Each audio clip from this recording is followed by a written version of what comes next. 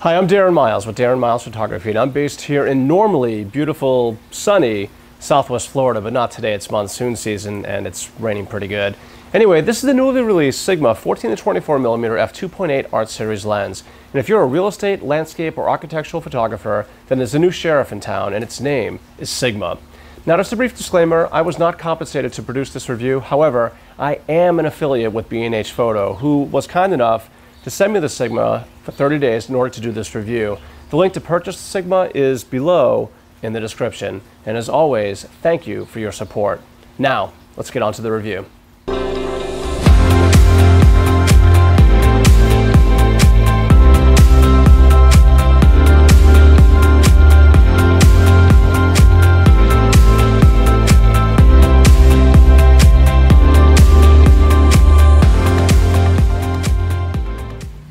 So first up is the build, and like virtually all the other Sigma art lenses, the 14-24 is built to a very high professional standard. The Siggy is a stubby beast, standing at only seven and a quarter inches tall and coming in at two and a half pounds or 1,150 grams. That's heavy, really heavy. I mean, it could actually double as a workout weight. But the weight actually makes sense given that it's a constant and bright f2.8 aperture throughout the zoom range. That means there's going to be a lot of glass in there. Check out that front element. And that thing is massive, and this thing just shrieks wide angle photography. On the inside, it's a very complicated formula of 17 elements arranged in 11 groups. Included in that formula are three FLD elements, three SLD elements, and three aspherical elements, which work together to help reduce color fringing and chromatic aberrations. The aperture ranges from f2.8 to f22. And speaking of the aperture, there are nine rounded aperture blades, which makes for some pleasing bokeh rendering. Well, as pleasing as it can be from an ultra wide angle lens, as you typically don't buy a wide angle lens like this for ravishing bokeh rendering. And so the, and the Siggy really is no exception, but for what it is, bokeh rendering is actually pretty nice. The lens mount is a brass bayonet that has a gasket to help prevent the ingress of dust and moisture. The focus ring is just buttery smooth. I mean, it just stinks of quality. The zoom ring, too, is really buttery as well, and it oozes of quality too. It's very Zeiss-like. Now, one other thing that Sigma has figured out, and it's a huge point of contention for me with my Nikon 14 to 24, is this lens cap. This design is a thing of brilliance. It actually has like this like suction mechanism that holds the cap into place. My Nikon, on the other hand, the cap on that thing keeps falling off constantly, so there's really nothing to hold it in place. This is a really smart, smart design by Sigma that furthers the feeling of really high quality. Oh, and the autofocus manual focus switch, it clicks into place with certainty. Now on the downside, the bulbous and curved nature of that front element unfortunately means that standard screw-on filters need not apply. And unfortunately, the Sigma does not have image stabilization. But really, that's about it. So for build, it really just doesn't get much better than this. And as such, the 14 to 24 gets a perfect 10 out of 10 for build quality. So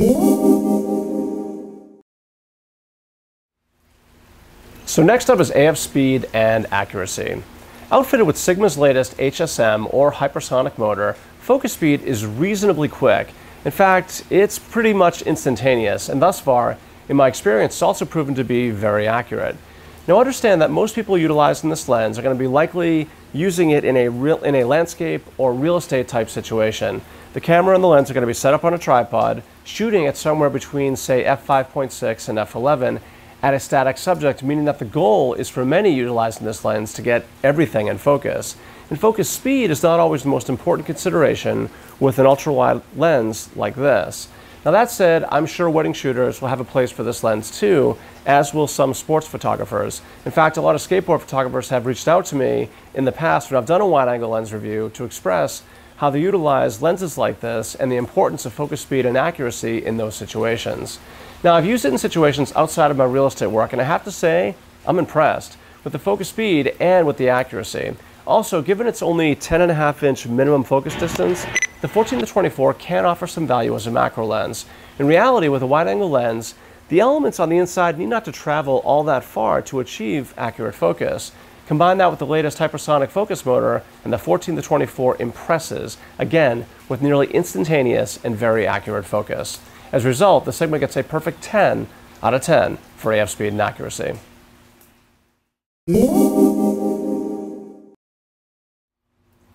So next up is optical quality and the quality of the results.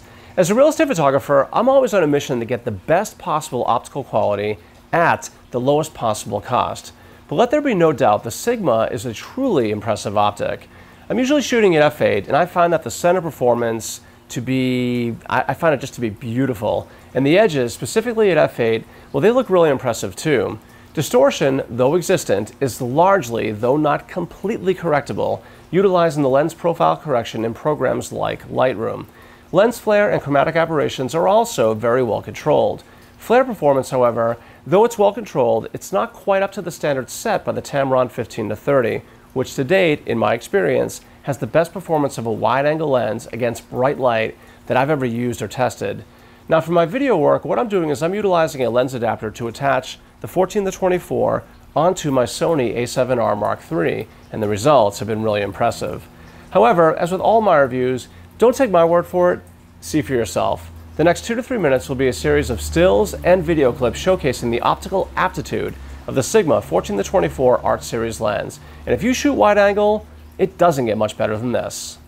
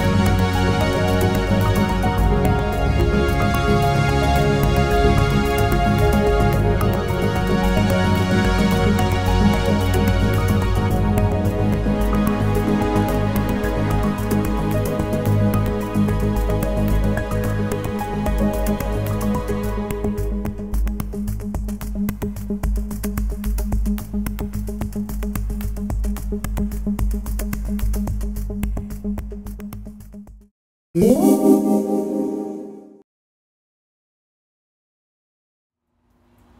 last up and arguably most important is value. Today we have a variety of choices for wide-angle lenses, both native and third-party, depending on the camera system that we're utilizing. Now speaking for myself, I shoot primarily Nikon in both my real estate and wedding work. And honestly, I'd have no problem picking up and utilizing the Sigma 14-24 in my professional work tomorrow. This thing is built impressively and solidly. Now it's short and stubby like a fire hydrant, and, but the optics are just awesome. It's weather sealed and the focus and zoom rings are perfectly dampened with just the right amount of resistance, etc. Now the downsides are this bulbous front element that prevents normal screw-on filters and the weight because this bad boy is heavy coming in at two and a half pounds. Now granted, most who utilize this lens are going to have it seated on a tripod like this as opposed to hand holding. The Sigma can be yours for $1,299, which admittedly isn't cheap. But I think it's a bit better than the Nikon 14-24. I mean, it certainly handles flare better than the Nikon. It's also about $600 less than the Nikon. So in that sense, the Siggy is a great value, but when compared to the Tamron 15-30, they're nearly the same price. Built similarly, the Sigma is one millimeter wider, but the Tamron has image stabilization, and it does handle flare a bit better. So all in, I think the Sigma is a great deal, and for value, it gets a 9.5 out of 10.